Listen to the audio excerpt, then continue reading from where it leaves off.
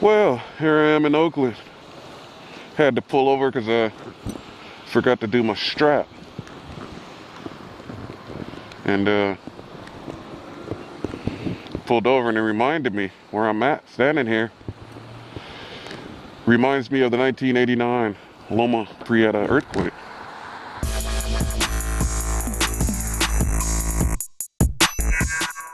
This is where the Cypress Freeway structure collapsed.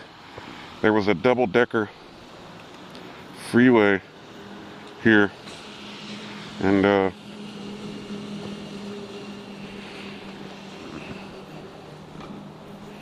there was a double decker freeway here. In the 89 earthquake we had a 7.1 huge earthquake and it collapsed. And a lot of people were uh, trapped in there. A few people died and I stay not far from here so uh, I'd come down here like every day because there were still people trapped in there. And uh, yeah I think it probably affected me a little bit. Affected me a little as far as uh, you know I was only like 16 then. And uh, yeah I was like 16 and so I kind of and I hate to walk across this grass it's really nice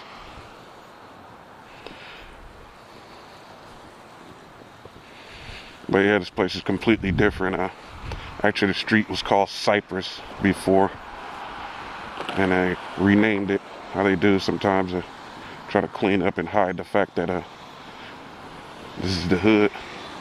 So they changed it to Mandela Parkway. But yeah, there used to be a double decker, double decker freeway right here. Completely collapsed for like, what, a mile or two?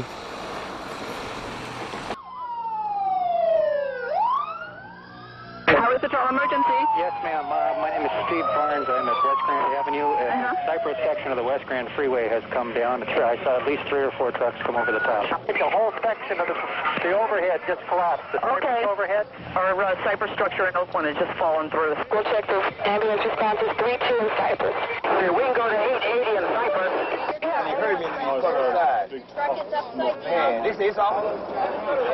have a complete structural collapse of the entire freeway between the streets of between 17th Street, as far as I can see, going towards 32nd. So we're going to need some trucks down here as soon as you can get them. Oakland 2, engine 5. Engine 5. We need a truck at 32nd in Cypress. The entire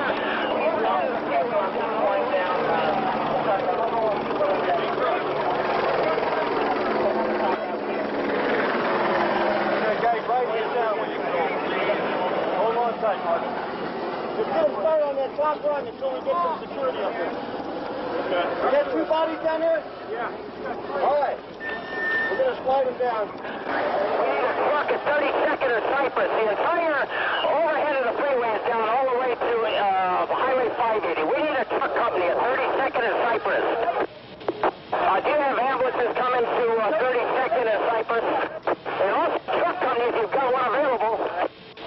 John, we got one casualty right here. It's going to be in between decks with people trapped. So let's start to uh, see if we can get a ladder in here. I'll have to go around the block. Oakland 2. Yeah, they have people trapped on Cypress. I want you to respond to Cypress and work your way towards West Grand Avenue. They have people trapped all along. You are to respond to 32nd and Cypress. Yes, fire alarm. A truck company 32nd and Cypress. And I'm reminded of this because last weekend we had a 6.0 earthquake. And that one actually scared the shit out of me a little bit. Not during the earthquake, but after the earthquake, I thought about what could have just happened. Or thought about if it started shaking again, would the whole place fall apart? So, you know, that was a big reminder for a lot of us here. And actually, when I think about it, uh, in October, October 17th, it'll be 25 years since that earthquake. Again, I'm getting old.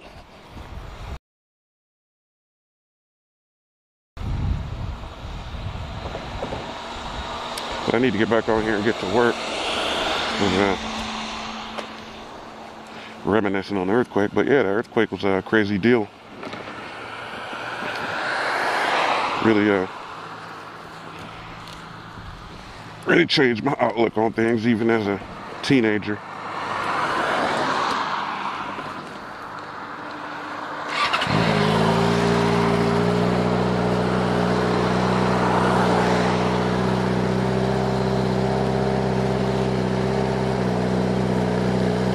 Yeah, changed my outlook on things even as a teenager. Realize how precious life was how quickly you can lose it. Since I'm reminiscing, I guess I'll ride around the old neighborhood. Like I said, I'm in Oakland. This is West Oakland. A lot of this has been rebuilt.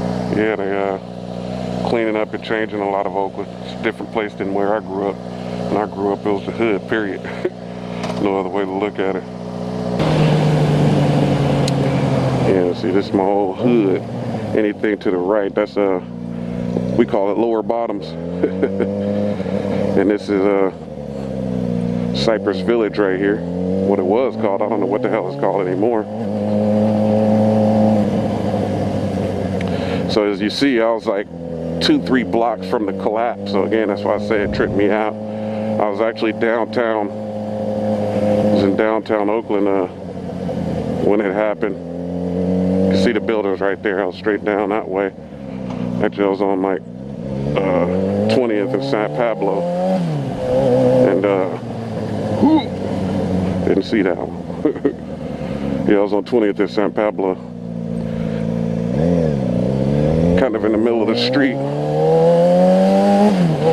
was crazy because we actually got lucky. So this is my old hood right here. Grew up right here by this church. But yeah, we got lucky on that uh, during the earthquake because it was uh, me and two other friends and one of my friends uh, saw somebody he knew, stopped to talk to the guy, which caused us to miss the light. Small elementary school right there. Luther King. Came a long way, but still I got so far to go. But yeah, he saw a guy. We stopped. That caused us to miss the light. Since we missed the light, it delayed us a little. So when we were crossing, we ended up in the middle of the street when the shaking started. And that was the part that was weird for me because so right before we felt the shaking, you saw there's two buildings, you know, buildings are like right next to each other sometimes. They seem like they're like connected. And it, fuck, that was hard. And uh, the two, the building, it, the crack, like fucking. I gotta do a. Uh, gotta do a hand motion right here. Make all these lights.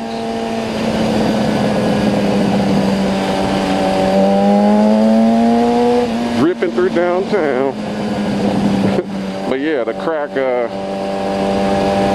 the two buildings separated. They basically went and fucking dust and shit start coming out. And I'm like, what the fuck? And I ain't been down here in a while. I'm fucking around. I'm supposed to be on the way to work here. But, uh, reminiscent of this earthquake story. I head towards the freeway.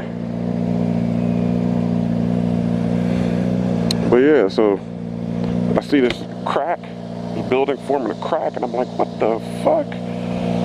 You know, my mind couldn't really comprehend because I had girls just standing there staring at me. My mind couldn't comprehend because, uh, because, uh,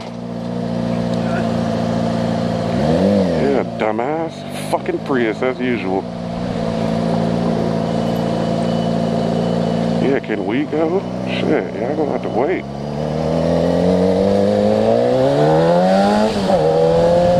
The fuck did I come down here for? but yeah, so the building was splitting apart, right? And I'm like, what the hell is this? My first thought was like demolition. But if you think about it, how in the hell are you gonna have? Oh, she's smoking hot. how the hell you gonna have demolition and people are walking by? So I'm like, I I couldn't put that together. And then right as I think demolition, the shaking started. 10-4 copy, your westbound section has collapsed into the eastbound section, about a 50-foot section. Okay, let me check. Report we had, there was a lot of people hurt under where it collapsed. Okay, let me check. Yes, we're getting the calls on that now. All right, ma'am. So Gas collapse, yes, and we're trying to get all, all these people off the bridge now. So you're just going to turn the cars around and try to get Get them them off? off the best way we can. Yes, ma'am. Traffic, he wants the uh, bridge closed down on the west side until we find out how long it's going to be closed. turn them around at the Sterling Street exit. Uh, get them going the wrong way. Evacuate this portion of the bridge. Uh, that's the only way we're going to clear this deck. 2,000 to 3,000 people outside of their cars. West of the tunnel to east of the tunnel. The eastbound needs to be shut down at the west end. Then get the motors turned around and going the wrong way and clear them off that way so that we can get the entire bridge shut off and get the cars off the bridge. and then we couldn't run. We're holding on to each other in the middle of the street. So what I was saying, the lucky part of why we were in the middle of the street was because if we would have crossed the street, we would have been under this one building. If we crossed the street, we would have been under this one building. And when we went under that building, the glass was everywhere. Oh, I fucked up here. Uh, like I say, what the fuck was I thinking coming down here? And this is tight quarters right here. But yeah, I'm not, the, you know, I kind of lost where I was.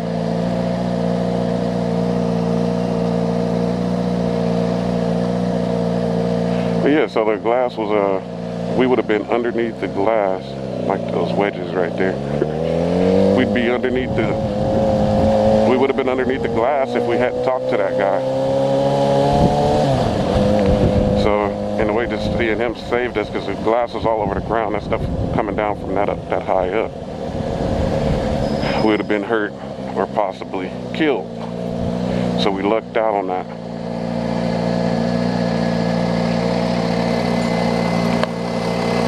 But yeah, so we were down, uh, down that way. Uh, on the way to our neighborhood, there's a little neighborhood rec center that we'd go to go shoot hoops and uh, we were on the way there. So we went there, make sure everybody was all right. Turned around, came back this way, and uh, we were walking down this street. This telegraph right here, and like all of these stores, all this glass. Some of this stuff wasn't here actually, because uh, they rebuilt a lot down here. But yeah, like all of the glass, all of these windows right here were all broke out. And that store on the corner right there is Sears now, but it used to be Capwells. Emporium Capwells, which is, I think, kind of a high-end store. So all of those windows right there were all broke out. And I need to be actually turning right here. Fuck, I'm fucking up. I'm really tight right there. Let's see if I can bogart and make this left right here. But yeah, downtown Oakland with a rake, huh? Uh-oh.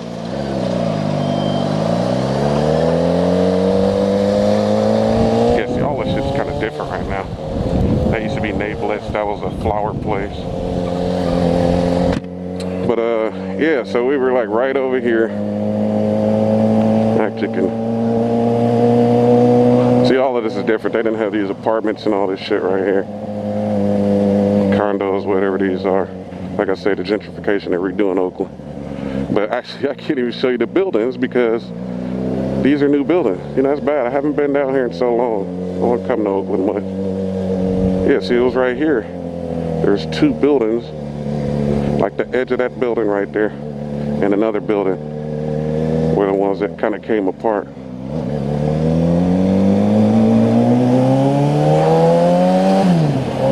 So yeah, we uh, gotta think about how the hell to get to the highway from here. It's bad. It's really been a while since I've been down there. I think I remember. But yeah, that was crazy. So That earthquake this weekend got me reminiscing on all that stuff. You know, and being in Cali, uh, like they tell us, you're facing the big one. There's one every 200 years. And uh, it was about 200 years ago that we had the big, big one. Not 1906. That was uh, most of the damage was caused by fire back then. And 1989, I guess, wasn't the big one either, even though it was 7.1. At 5.35 p.m., 31 minutes after the earthquake, a 1980 Mercury Zephyr, driven by a 23-year-old woman, entered the westbound upper deck of the Bay Bridge and drove eastbound in the wrong direction for approximately two miles.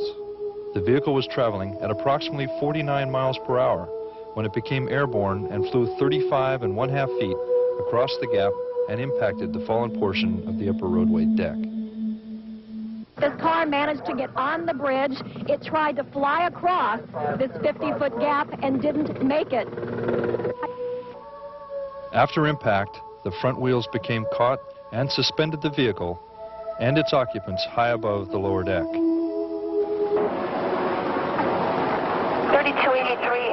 On the bridge.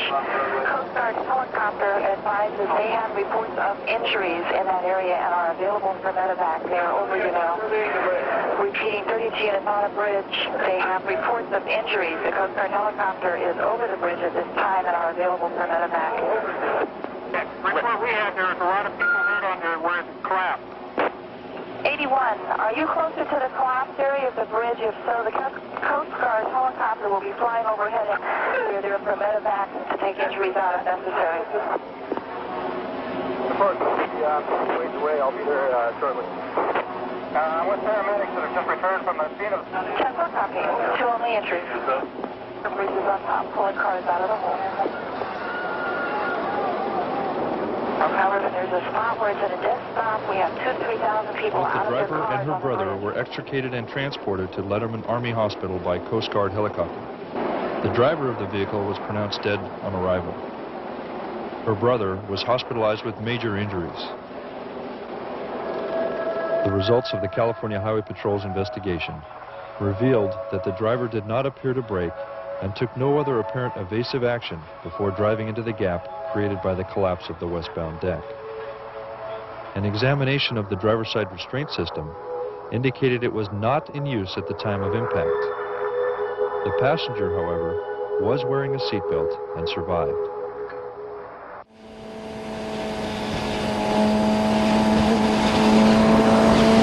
So yeah, I'm gonna bring this motovlog to a close here. Uh, just wanted to talk about that earthquake uh, in 89, the Loma Prieta earthquake, reminiscing a little bit as I rode through Oakland, downtown Oakland on the way to work. Obviously, I'm no rush to get to work.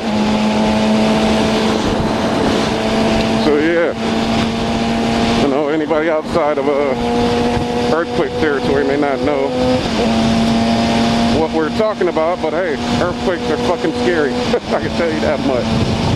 Total lack of control. That feeling of uh, no control is uh, what makes it scary, and you don't know how bad it's gonna be, or is it gonna keep going? Is the damn building gonna fall down? All the shit I was thinking last weekend. So hopefully, uh, it'll be a while before we get that big one.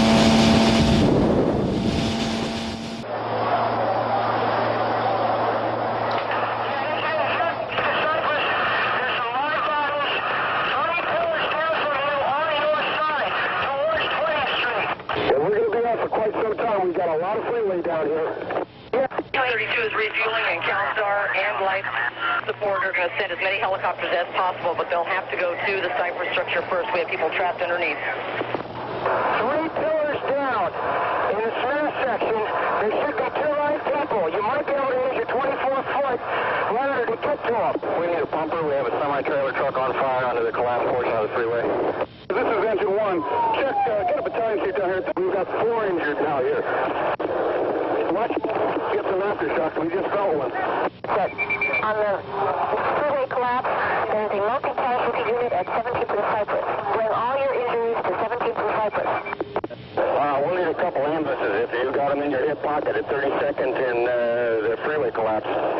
But we just got the ladder going now. He's down uh, down the pocket. It's uh, real bad down here, Andy. And Cypress incident, they're working on extrication of three children. I was part of this collapse uh, falling, but I don't have any company up that way, and we have fire and people trapped. Port, uh, people trapped at that end and just begin to work their way down to West Grand Avenue. Yeah, they have people trapped on Cypress. I want you to respond to Cypress and work your way towards West Grand Avenue. They have people trapped all along. We're going to work our way all the way down. Uh, you've got rescues going independently with, with people with contractor and equipment. We've got cops, we've got CHP, we've got civilians. So we need to do is start probably working our way down, keep one lane of traffic clear, work our way into each incident and get an analysis. Uh, well, we've got about a half a mile of a collapsed structure. Every bit is going to have to be searched. You're going to have to pull out the stops and call for a general alarm.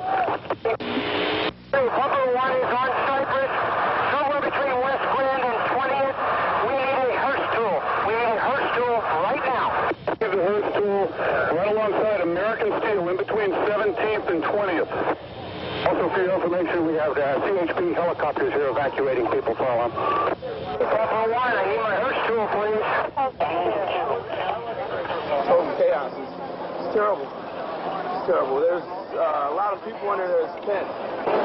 Five members command the incident. We've got four people pinned. People trapped at Cypress and Campbell. Humping and jumping, and the cars were falling down, and the dust was flying. Every dust was going all over. Rocks were flying. People. In time and up, as much heavy rescue equipment as we can. 15, lead engine 5 at 30 seconds in Cypress. They need a truck. Yeah, we need, we need the jaws of life.